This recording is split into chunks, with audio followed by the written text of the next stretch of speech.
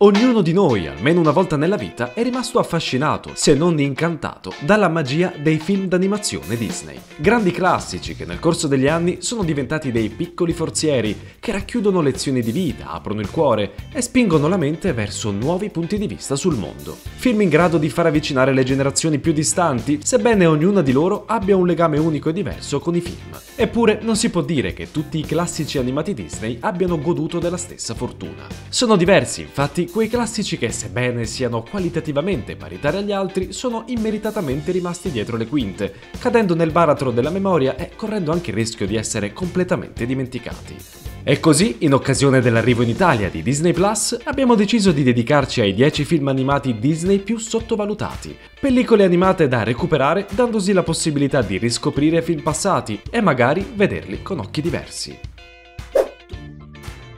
Nono classico Disney, Bongo e i tre avventurieri, viene realizzato nel 1947. Questo film è il quarto progetto collettivo realizzato dalla casa di Topolino ed unisce due segmenti intitolati rispettivamente Bongo e Topolino e il fagiolo magico. Il film si apre con il grillo parlante di Pinocchio che, trovatosi nel vaso di una pianta, decide di esplorare la casa che la ospita, fino a quando non inciampa in alcuni giochi, facendo riprodurre casualmente un disco. Così viene narrata la storia di Bongo. Il secondo segmento invece è un adattamento di Jack e la pianta di fagioli e vede protagonisti Topolino, Paperino e Pippo. Un film sperimentale e coraggioso che merita di essere riscoperto.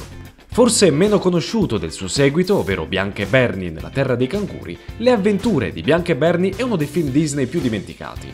Realizzato nel 1977, questo ventitreesimo classico Disney segue le avventure di Miss Bianca e del suo collega Bernie.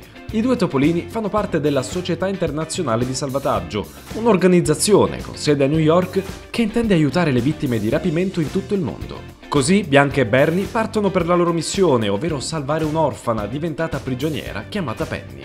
Appassionante, intrigante e con due protagonisti dai caratteri complementari, le avventure di Bianca e Bernie va assolutamente rispolverato. Forse uno dei film più bistrattati e controversi dell'universo disneyano. Nel 1985 Taro nella pentola magica fu un clamoroso flop al botteghino, colpevole di aver dato vita a molte polemiche per le sue atmosfere troppo horror e spaventose. E non a caso Tim Burton è un grande fan del film. Il cartone animato fu persino censurato con 12 minuti di scene tagliate, ma noi siamo convinti che Taro nella pentola magica sia un perfetto esempio della vera natura destabilizzante e oscura di molte fiabe. L'immaginario fiabesco non ha mai rinunciato a spaventare, inquietare ed educare attraverso timori e paure, e questa storia ci riesce benissimo grazie a un fantasy alquanto dark. Considerato come uno dei film di transizione tra i film canonici Disney e la fase del Rinascimento, Basil l'investigatopo è ispirato all'iconico personaggio di Sherlock Holmes, di cui diventa una brillante e divertente caricatura.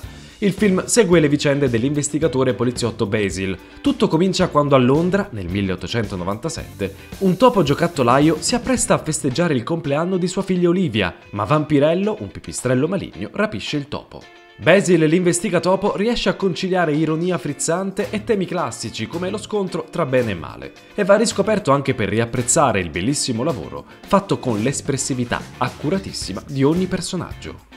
Tra i vari film Disney ingiustamente dimenticati ma di gran successo c'è anche Oliver Company. Realizzato nel 1988 è considerato il ventisettesimo classico Disney, un film d'animazione liberamente ispirato a Oliver Twist di Charles Dickens. La storia segue le orme del gattino Oliver, unico cucciolo che non è stato venduto. Diventato un randagio, Oliver inizia a vagabondare per le strade di New York e nel corso del suo cammino il nostro si arrangia come può tra debiti da saldare e furtarelli per vivere. Dotato di un'ingenuità piena di candore, Oliver Company è un concentrato di tenerezza che, fidatevi, vi scalderà il cuore. Guarda che ho ucciso per molto meno. Solo citando questa frase, in molti si ricorderanno Le follie dell'imperatore, bellissimo film d'animazione uscito nel 2000, esattamente vent'anni fa, che si presenta come un frizzante buddy movie disneyano. In questo quarantesimo classico Disney, Cuzco è un imperatore inca narciso e viziato che, come regalo di compleanno, è deciso a regalarsi un nuovo parco acquatico costruito sulla cima di una collina. Fresco, dinamico e con personaggi irresistibili, Le follie dell'imperatore è uscito l'anno dopo Tarzan, dando così inizio a un decennio alquanto sfortunato per la Disney, che tra alti e bassi tornerà alla ribalta soltanto nel 2010 con Rapunzel. Arrivato in sala nel 2001, Atlantis non merita di affogare negli abissi in cui viene spesso relegato. Anche in questo caso la storia ha una solida ispirazione letteraria, ovvero 20.000 leghe sotto i mari di Jules Verne. Atlantis racchiude una mitologia vasta, ricchissima di suggestioni, celando una cultura affascinante e stratificata. Per quanto l'argomento sia stato trattato più volte, il punto di vista appassionato, curioso e competente di Milo ci mette nei panni di un giovane geek interessato al mito della città sommersa senza dimenticare le sperimentazioni fatte con il character design dei personaggi, decisamente più spigolosi e meno morbidi rispetto al canone disneyano. Merito anche di Mike Mignola, il papà di Hellboy, che lavorò allo studio dei protagonisti e sulle ambientazioni. Come detto, gli inizi del 2000 sono stati un periodo molto difficile per mamma Disney. Nella marea di sfortuna dell'epoca ci finì anche uno dei cartoni animati più sottovalutati di sempre, ovvero Il pianeta del tesoro. Nel 2002 il celeberrimo romanzo di Robert Stevenson venne rivisitato con coraggio e grande inventiva, declinato in una vincente chiave steampunk. Un immaginario evidentemente destinato alla sventura cinematografica, se pensiamo anche agli scarsi incassi di The Prestige o del recente Macchine Mortali. Un vero peccato perché dal punto di vista artistico Il pianeta del tesoro resta una perla di rara bellezza, grazie a uno studio maniacale delle ambientazioni, dei mezzi e del character design. Un'avventura corsara ricca di creature e di mondi, che trova il suo apice nel bellissimo e toccante rapporto tra Jim e John Silver. Se citare il gioco Vedo Vedo vi dice qualcosa, allora vi ricorderete di Coda Fratello Orso, film d'animazione Disney uscito nel 2004.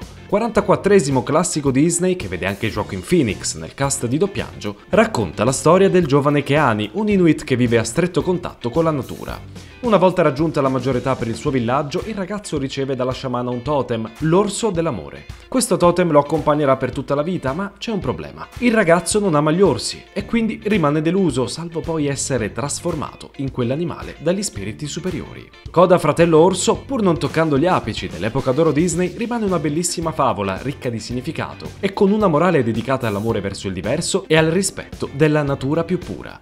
Se le parti dedicate agli esseri umani sono troppo canoniche, quelle con gli animali in scena sono particolarmente poetiche e toccanti. Ultimo classico Disney natalizio, realizzato con la tecnica d'animazione tradizionale, La principessa e il ranocchio viene ricordato soprattutto per questo, visto che dall'anno successivo, con il grande successo di Rapunzel, la Disney non ha più abbandonato la computer grafica con l'unica eccezione di Winnie the Pooh Nuove avventure nel bosco dei cento acri che uscì nel 2011. Peccato, perché la principessa e il ranocchio, liberamente ispirato alla fiaba Il principe ranocchio dei fratelli Grimm, aveva tutti gli ingredienti per diventare un altro grande classico. Con questo film la Disney dimostra in effetti di essere in una specie di terra di mezzo. Guarda al passato per orientarsi verso il futuro e lo fa con una storia a metà strada tra il vecchio e il nuovo, con il jazz che diventa una bella metafora di vita sull'importanza dell'improvvisare e del seguire il proprio istinto. E voi amavate già tutti questi classici Disney sottovalutati oppure no? E darete loro una seconda chance su Disney Plus? Fatecelo sapere nei commenti.